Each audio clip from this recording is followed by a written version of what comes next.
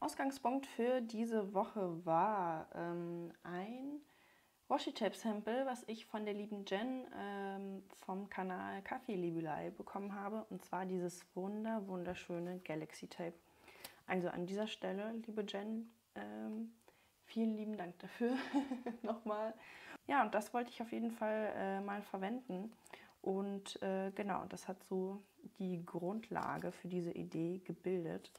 Und äh, genau, ansonsten, ähm, wer mein Starter Filofax Haul ja damals gesehen hat, vielleicht, hat ja auch gesehen, dass ich mir diese Weltraum ähm, geholt habe. Und die habe ich mir jetzt ein paar zurechtgelegt, die farblich dazu passen könnten. Und ich dachte, die mache ich hier irgendwie noch so als Deko-Element mit drauf oder so. Mal schauen. Dann ist gestern auch ähm, das besagte Stempelset angekommen wovon ich glaube ich letzte Woche schon erzählt hatte. Und zwar ist das dieses Stempelset hier. Und zwar ist das von Live Love Paper ähm, in Zusammenarbeit anscheinend mit äh, Studio Calico. Ähm, vielleicht sagt euch das ja irgendwas, keine Ahnung. Mir hat es vorher nichts gesagt. Ich habe eigentlich nur so nach Musterstempeln geguckt, ähm, weil ich das im Video von der lieben Mira vom Kanal Masking Mira gesehen hatte, dass sie das so als Hintergrund ähm, Highlights verwendet, keine Ahnung, wie man das nennt, um sich eben bestimmte Termine oder Tage zu markieren. Und äh, das Ashley Goldberg Set war ja eigentlich überall ausverkauft irgendwie. Und deswegen habe ich eben eine Alternative gesucht und habe eben dieses Set gefunden. Am Anfang war ich ein bisschen äh, traurig, dass es doch so klein ist, aber im Endeffekt passt es sehr, sehr gut eigentlich in meine Woche ähm, auf einer Seite. Und insofern freue ich mich sehr darauf, die mal zu verwenden. Ja, diese Sprüche hier oben mag ich irgendwie nicht ganz so gerne. Also ich kann mir schon vorstellen, das irgendwie zu verwenden, aber ähm, mir ging es vorrangig um die Stempel und um diese Sprechblasen. Die fand ich auch sehr, sehr cool. Und genau, dazu habe ich mir dann auch ähm, zwei Dewdrops äh, wieder zurechtgelegt in der Farbe einmal Pretty Petunia und einmal Pink Petunia. Tada! Genau, passend zu dem Galaxy Tape ähm, dachte ich, dass rosa ganz gut passen würde und hier habe ich mir einfach ein paar rosane Tapes zurechtgelegt. Und dieses neue Tape hier, was ich mir gestern geholt habe. Und äh, ja, mal schauen. Also alle werden sie auf keinen Fall zur Verwendung kommen. Da muss ich einfach mal gucken, was am besten passt gerade. Ja, ansonsten sind äh, ja bekannte Sachen, die brauche ich euch nicht zu zeigen, jede Woche irgendwie. Außerdem, ähm, das Besondere an dieser Woche ist, dass wir uns wahrscheinlich eine äh, Project Life Karte selber basteln werden, weil ich einfach keine Karte gefunden habe für diese Woche, die irgendwie einigermaßen dazu gepasst hätte. Ich habe zwar diese Karte hier mit den ähm, Sternen, aber irgendwie finde ich sie gar nicht so toll. also das ist ähm, auch aus diesem Aquarell-Set, aus einem der beiden Sets, keine Ahnung, ehrlich gesagt. Und deswegen, ähm, ja, wie gesagt, wird diese Wochendekoration wahrscheinlich ein kleines Do-it-yourself beinhalten, womit wir auch, glaube ich, auch direkt loslegen. Und zwar nehme ich hier als äh, ja, Papier ähm, ein Papier von Deleta, was ich habe. Das äh, hat eine Postkartengröße und ich dachte, ich halbiere das einfach. Einmal für die Rückseite und einmal für die Vorderseite. Ich hatte das ja, als ich meinen Eckenabrunder bekommen habe, schon mal probiert als ich noch nie eine Project Life Karte noch in der Hand gehabt habe. Und zwar sah das so aus. Und genau das, ähm, also diese Technik, wende ich auch heute an, um so einen Galaxy-Hintergrund zu erstellen sozusagen. Genau, und da dann, äh, da ich ja Nagellackentferner und Copics dazu verwenden werde, sieht die Rückseite dementsprechend so aus und deswegen brauche ich auch noch eine Rückseite. Genau, ähm, ja, ich würde mal vorschlagen, ich teile das Papier erstmal in zwei Teile. Das würde sich am ehesten anbieten. So, das habe ich jetzt in zwei Teile zerschnitten. Wir nehmen uns jetzt erstmal die eine äh, Hälfte davon. Und zwar habe ich mir diese Copics hier zurechtgelegt. Ähm, zum einen so einen richtig äh, dunklen Blauton, das ist die B39. Dann zwei lila Töne, einmal BV08 und V04 dann ein Blauton B18, ein Rotton RV29 und einen rosanen Ton mit R85 als Nummer. Ähm, wie vorhin schon angesprochen, ist das andere Ding, was ich dazu brauchen werde, Nagellackentferner und ein Pinsel. Außerdem noch deckende weiße Tusche. Ich benutze hier die von Dr. PH Martins, ähm, das Pen White und eine alte Zahnbürste. Und ja. So, und zwar ähm, habe ich hier äh, die Copic Chow Variante und das Besondere an der ist, dass sie so eine Art Pinselspitze hat, die relativ weich und biegsam ist. Und ja, ich lege hier los mit der dunklen äh, blauen Farbe und male mir hier einfach so ein paar blaue Stellen rein.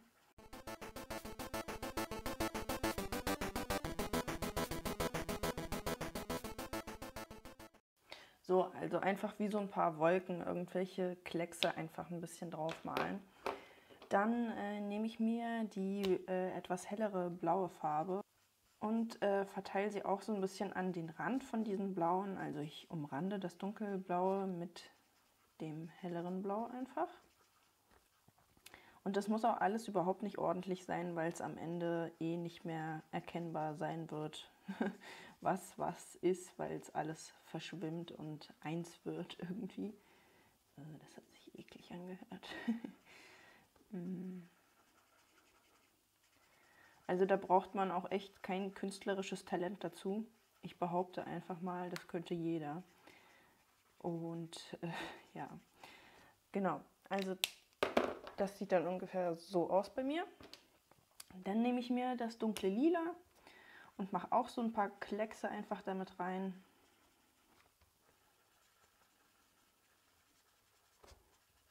Das kann sich auch ähm, gerne mal überlappen oder so. Das ist überhaupt kein Problem.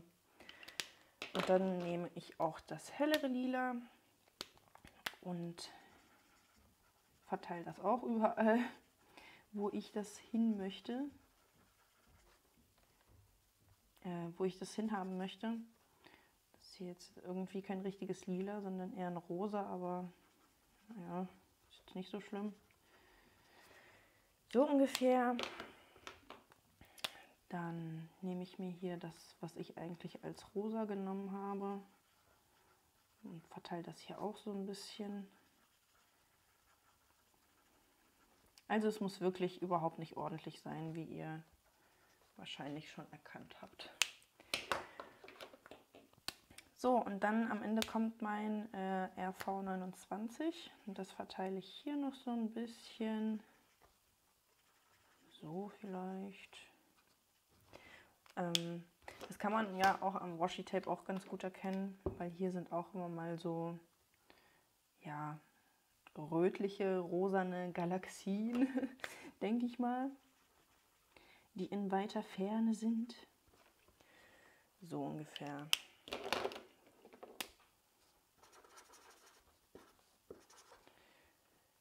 Genau, so sieht es jetzt am Ende bei mir aus. Bei euch kann es natürlich, äh, falls ihr das irgendwie nachmachen wollt, ganz anders aussehen. Das ist überhaupt nicht schlimm. Oh, jetzt habe ich hier komplett übergemalt. Naja. Ähm, gut, der nächste Schritt ist, wir nehmen uns den Nagellackentferner und einen Pinsel. Ähm, ich habe hier so einen ganz alten, ranzigen Pinsel noch aus der Schulzeit. Das ist total egal. Das muss kein super teurer, fancy Pinsel sein. Und ich tunke hier das einfach rein und verteile das. Und so entsteht ein ganz toller Effekt und äh, zwar passiert das, weil äh, Copic-Marker ja auf Alkoholbasis sind und deswegen verläuft das alles so voll schön miteinander. Und das ist ein Effekt, den kann man halt einfach nicht ganz so gut kontrollieren. Also man kann sich zwar Mühe geben und äh, weniger oder mehr Nagellack drauf machen, Nagellackentferner, ähm, ich glaube, ich mache mir kurz mein Brett mal weg. Ja, und je mehr äh, Nagellackentferner man denn dementsprechend nimmt, umso größer werden die Kleckse oder umso kleiner dann eben. Wow. Ja, und so verläuft das eben alles ineinander rein. Und ich finde, das hat irgendwie einen sehr tollen Effekt. Und das kann eben, wie gesagt, jeder nachmachen. Das ist irgendwie jetzt nichts Besonderes. Dazu braucht man eben äh, nur ein paar Marke auf Alkoholbasis. Und die sind leider ein bisschen teuer. Aber wenn man Spaß hat an sowas, ähm, könnte man ja da auch rein investieren. Äh, falls ihr euch wirklich Copic-Marker besorgen wollt und noch keine habt und ähm, ja in so ein Kreativgeschäft reingeht, ähm, lasst euch von den Preisen nicht ganz so sehr abschrecken. Also online ist es nochmal tausendmal günstiger. Ähm, ich glaube, bei Idee kostet ein Copic-Marker über 4 Euro. Also der, äh, die billigste Variante in äh, dieser Ciao-Ausführung, die ich habe.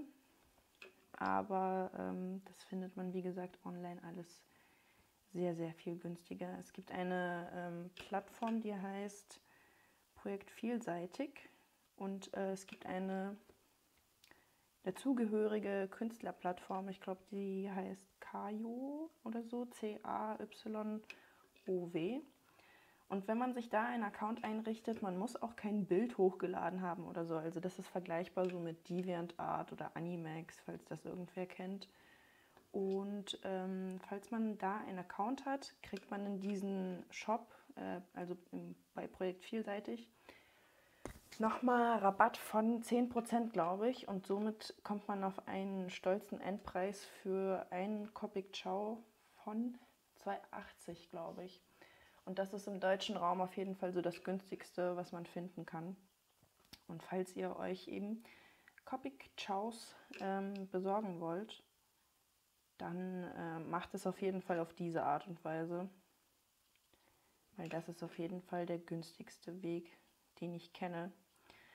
Und äh, ich habe ja relativ viele Copics. Also ich habe äh, natürlich nicht alle Farben, aber ich habe relativ viele Farben, weil ich ja ähm, ganz gerne Mangas zeichne und Illustrationen.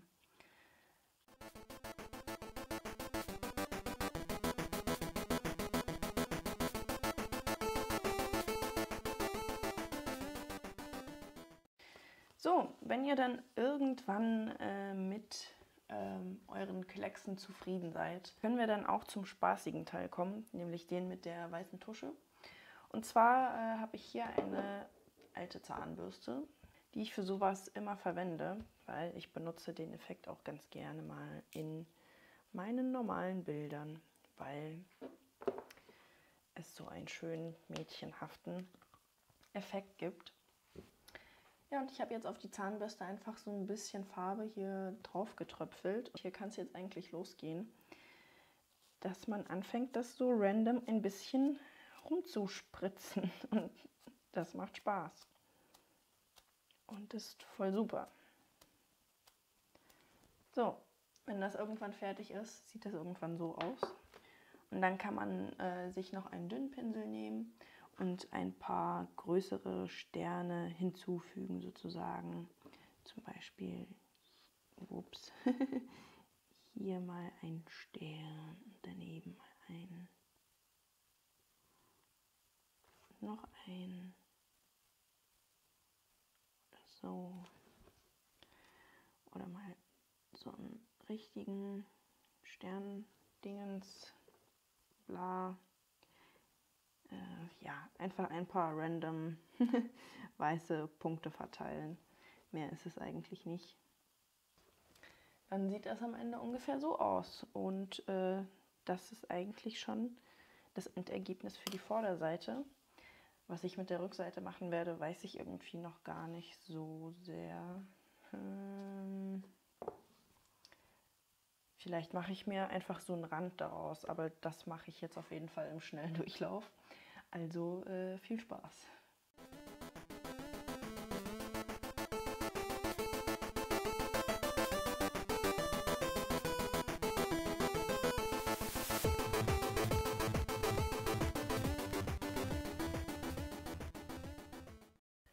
So, während äh, jetzt diese beiden Bestandteile meiner Project Life Karte trocknen, äh, legen wir jetzt einfach mal los mit der eigentlichen Wochendekoration. Ja, und zwar habe ich mir jetzt überlegt, dass ich ähm, als Untergrund sozusagen ähm, ja hier oben und unten die beiden Farben verwenden werde und dann das Galaxy Tape oben drüber machen werde. äh, genau. Ach, ich mag diese MT-Tapes, ähm, dieses andere graue, was man gerade gesehen hat. Ich weiß nicht, ob es man, also dieses hier, ähm, habe ich jetzt auch gestern bei meinem Ausflug mit der lieben ähm, Ela äh, gemacht, weil sie mich ja gestern in Erfurt besucht hatte. Und äh, genau, da habe ich mir mal wieder ein paar neue Tapes zugelegt. Äh, ich kann sie euch hier mal kurz zeigen. Und zwar sind es diese hier gewesen. Und sie sind alle voll schön. Und ich freue mich drauf, sie alle zu verwenden, weil das wird wundervoll. Genau, wir haben nämlich zusammen noch einen anderen Laden entdeckt, der auch Washi Tape hat, von dem ich äh, noch nicht wusste, dass er Washi Tape hat. Ähm, und ja, dementsprechend war ich äh, begeistert. Sehr, sehr begeistert. Genau. Ähm, das Video hier wird wahrscheinlich erst am Montag freigeschaltet werden, weil ich war gestern Abend auf einer Geburtstagsparty und ähm, ja, dementsprechend bin ich heute nicht ganz so gut aus dem Knick gekommen. Äh, deswegen hoffentlich wartet jetzt niemand irgendwie darauf. Weil letzte Woche kam es ja auch schon irgendwie kurz vor Mitternacht. Ähm, ich glaube, bis ich hier heute fertig bin mit dem Video an sich, dann das Ganze noch schneiden und rendern und hochladen, ähm, ist es bestimmt auch schon wieder, ähm, also mit einem Hochladen dauert es ja eh bei mir immer sehr, sehr lange. Deswegen wird es, glaube ich, erst morgen kommen. Weil ich glaube, es hat irgendwie keinen Sinn, ein Video ähm, so spät freizuschalten. Ich habe irgendwie das Gefühl, sehen irgendwie nicht ganz so viele Leute dann oder so. Aber ich weiß nicht, ob es ähm, stimmt. So, hier hatte ich noch einen kleinen Druckrand. Und das nervt. so, dann mache ich das hier erstmal hier oben hin. Und es ist so schön und wie ihr wahrscheinlich hier schon gesehen habt, dieses wunderschöne CC Share Tape ist das ja, glaube ich. Ist auch so schön. Oh mein Gott, Jen, vielen, vielen Dank dafür. Und sie hat mir noch so viele andere Kawaii-Sachen geschickt. Und das ist so lieb. Vielen, vielen Dank. Da habe ich mich echt gestern sehr, sehr gefreut darüber, dass das Stempelset und mein Tauschbrief mit ähm, ihr angekommen sind. Das war ein guter Tag. so. Dann nochmal jetzt hier unten. Es ist immer ein bisschen schwierig mit, ähm, na, wie heißen sie? Samples umzugehen, weil irgendwie, ich weiß auch nicht. Mit so einer Rolle ist es einfach einfacher. so. Ähm, ich hoffe, dieses Tape bleibt mir noch lange erhalten. Kannst du mir bitte sagen, woher du das hast? Ähm, ich habe es auch, glaube ich, schon mal bei der lieben Sandra von Philophilie gesehen. Und ich liebe dieses Tape. Es ist so schön. Es ist zwar ein bisschen hipstermäßig, weil Hipster offensichtlich ähm, auch Galaxien mögen und Weltraumhintergründe, keine Ahnung. Ich muss immer nur an diese Leggings denken und Rucksacke und äh, Rucksäcke und Schuhe und was weiß ich, äh, was es jetzt davon nicht alles gibt. Ja, deswegen. Aber ich mag es eben auch und ähm, mich hat es die ganze Zeit an Dr. Who irgendwie erinnert, weil ich ja auch dieses Bild für Ela gezeichnet hatte, was ja auch so einen ähnlichen Hintergrund hatte. Und deswegen ähm, habe ich die ganze Zeit daran gedacht. Genau, so, wie geht es jetzt weiter? Ähm, mit den Tapes bin ich jetzt, glaube ich, fertig. Mehr will ich gar nicht verwenden, weil ich glaube, wenn das hier dann noch drin ist, ähm, naja, ist es schon echt viel. Und deswegen lasse ich das, glaube ich. Ach ja, die Briefmarken wollte ich ja vielleicht noch irgendwie mit reinmachen. Muss ich jetzt gucken, welche noch gut dazu passen. Die hier ist ganz schön cool. Die hier ist aber auch cool Das wäre dann ja so, könnt ihr ja vielleicht irgendwie so zwei hinmachen. Ja, also ich glaube, ich nehme lieber die hier, statt die andere, die so viel lila mit drin hat. Und ich mache das jetzt mit normalen äh, Kleber einfach fest. Genau. Ich glaube, das Blau passt irgendwie doch besser als dieses Lila, weil dann wäre es auch irgendwie ein bisschen zu viel Lila. So. Na, hoffentlich habe ich noch dann überhaupt genug Platz für meine To-Dos. Mensch, ich bin hier ja richtig dekoratierungsfreudig.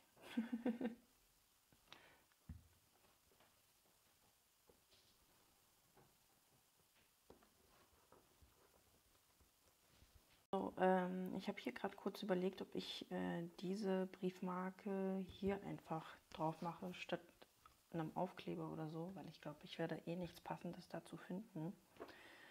Und äh, vielleicht mache ich ja so das Washi-Tape so ein bisschen als Untergrund dazu. Das fände ich, glaube ich, ganz cool. Aber wenn, dann so gerissen.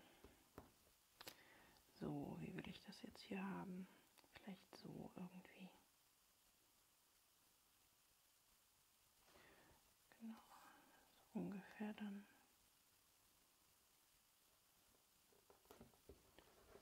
So, vielleicht. Mit dem Rosa auch.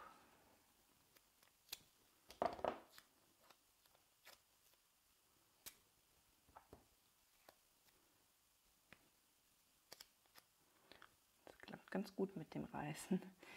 Habe das Gefühl, diese MT-Tapes sind irgendwie ein bisschen dünner als so meine anderen Tapes. Aber ich finde das nicht schlimm. Irgendwie finde ich das trotzdem gut. Ähm, so ungefähr habe ich mir das vorgestellt. Oder doch lieber so irgendwie. ja, ich glaube ungefähr so. Ja. Mensch. Ich bin äh, selbst ein bisschen überrascht von mir. Es ist diesmal wirklich mal was anderes. Ich finde das ganz gut. Ich freue mich schon auf die neuen Stempel. so, dann schneide ich das hier mal kurz ab.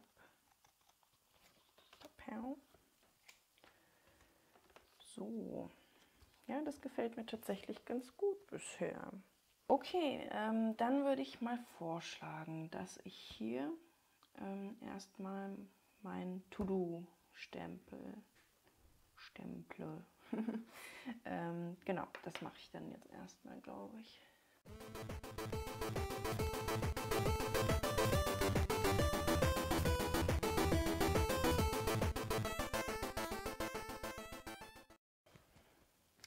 So, und äh, dafür werde ich dann dieses Pretty Petunia nehmen, ähm, weil ich dieses andere Rosa, dieses äh, Pink Petunia, dann äh, für diese Hintergrundstempel eher, glaube ich, verwenden will.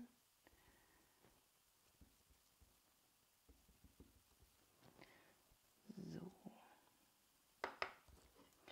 Okay, hoffentlich klappt das jetzt.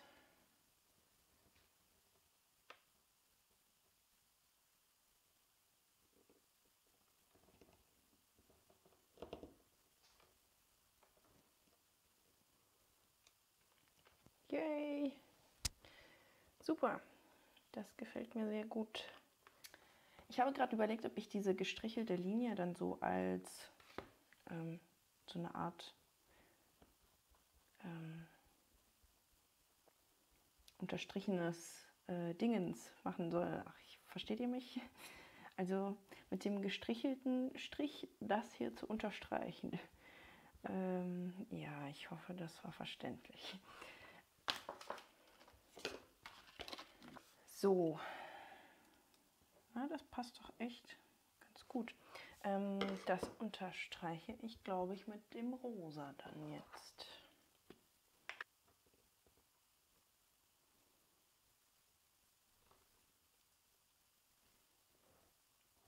Hm. Ja, das gefällt mir gut. Sehr, sehr schön, sehr, sehr schön. Ich hätte echt nicht gedacht, dass mir äh, Stempeln mal so viel Spaß machen würde. Das ist verrückt irgendwie. So, dann werde ich jetzt, glaube ich, mit diesen Pünktchen ähm, meinen Weiterbildungstag markieren. Ich habe das Gefühl, diese Stempel nehmen die ähm, Farben ganz anders auf irgendwie als diese HEMA-Stempel. Ich habe ja sonst keine anderen ähm, Stempel. Deswegen bin ich gerade sehr verwundert. So. Ja. Okay, ich glaube, dazu bräuchte ich eine etwas hellere Farbe, um das als Untergrund von etwas verwenden zu können. Hm, hm, hm. Ähm, ja, gut, ich glaube, es funktioniert trotzdem ganz okay. Ähm, jetzt überlege ich, ob ich das nicht ähm, noch mehr verwenden sollte. Es steht bei mir leider noch nichts fest. Ich würde ähm, gern auch mal diese Sprechblasenstempel mal verwenden und ausprobieren. Aber es steht einfach noch leider nichts fest bei mir. Aber vielleicht verwende ich diese Punkte wirklich noch als so eine Art Deko-Element hier so ein bisschen an den Seiten, weil ich ja wie gesagt keine passenden äh, Sticker habe. Deswegen kommt das vielleicht ganz gut. Ich weiß es nicht. Hm. Wo genau will ich das eigentlich hinhaben? Vielleicht ja eher hier so. Einmal.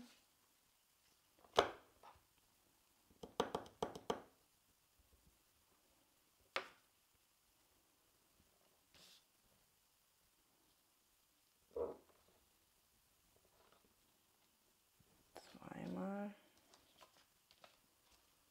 Ja, und vielleicht noch irgendwo unten.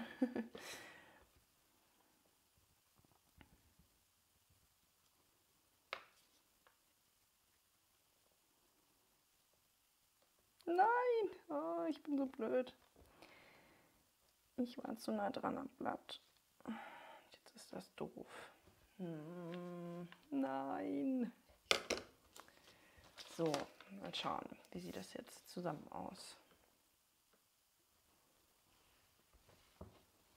Hm. Also eigentlich gefällt es mir wirklich ganz gut. Außer dieser Patzer jetzt hier natürlich den ihr gar nicht seht. Ähm, aber hier, jetzt wahrscheinlich. Ähm, ja. Ich glaube, so lasse ich das jetzt erstmal. Und mache den Stempel mal wieder zurück.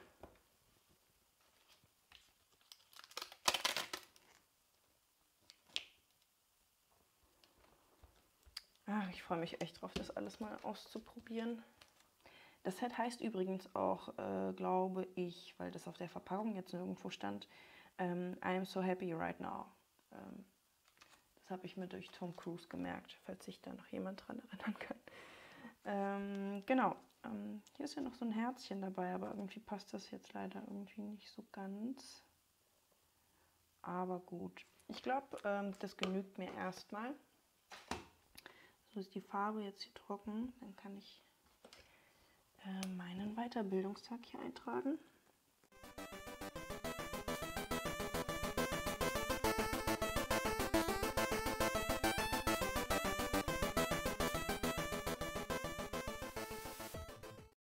So, ich denke, das war's erstmal. Ich runde hier schon mal die Ecken ab.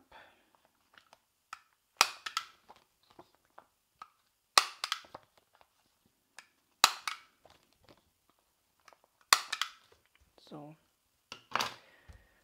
Und ähm, meine Locher brauche ich noch. genau.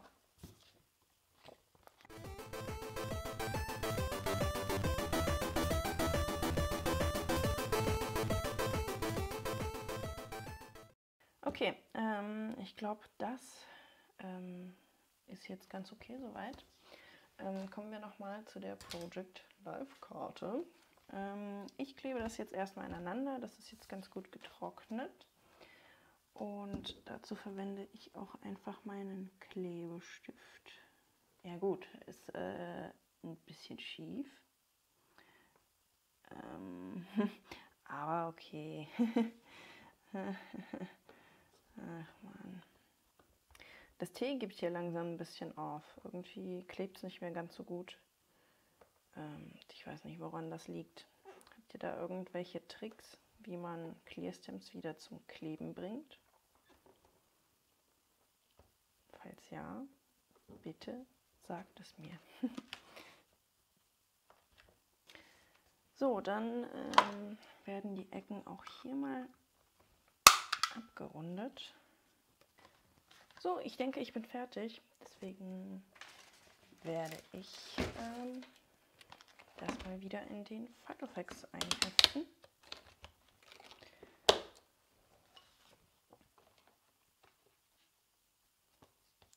Ah, ich dachte schon kurz, ich habe irgendein Loch vergessen. So ungefähr sieht das dann jetzt aus. Ja, ich bin ja doch eigentlich echt zufrieden. Ähm, man hätte jetzt auf die Project Life Karte noch irgendeinen lieben Spruch draufschreiben können. Ähm, das habe ich jetzt mal gelassen, weil bin gar nicht so der Fan davon. Ähm, soll ja auch einfach nur dazu dienen, dass ich mir meine Stunden hier draufschreiben kann. Insofern ähm, ist das jetzt auch nicht so wichtig eigentlich, aber schön zu haben. Und es hat ja auch Spaß gemacht und vielleicht war es ja auch eine Inspiration für euch. Ähm, ansonsten, ja, äh, die Stempel haben mir sehr gut gefallen. Ich bin froh, dass ich die ähm, Briefmarken endlich mal verwenden konnte. Und äh, die Farbkombi gefällt mir ganz gut von diesem dunkelblau, lila, rosa, was auch immer. Und äh, ja, das war es dann soweit zu der Woche. Ich hoffe wie immer, dass es euch gefallen hat und äh, wie gerade schon gesagt, vielleicht auch mal dieses Mal eine Inspiration für euch war. Und ansonsten hoffe ich, dass wir uns äh, spätestens nächsten Sonntag wiedersehen. Und ich wünsche euch einen tollen Start in die neue Woche. Tschüss!